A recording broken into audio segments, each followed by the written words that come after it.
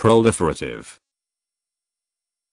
Proliferative, growing and increasing in number rapidly. For example, the lymphoproliferative disorders are diseases in which there is malignant growth of lymphoid cells, and of cells from the reticuloendothelial system, which take up and sequester inert particles. As another example, the myeloproliferative disorders are malignancies of certain bone marrow cells including those that give rise to the red blood cells, the granulocytes, types of white blood cells, and the platelets, crucial to blood clotting.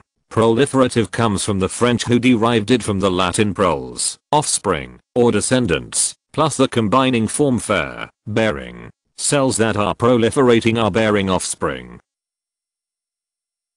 P R O L I F E R T I V E Proliferative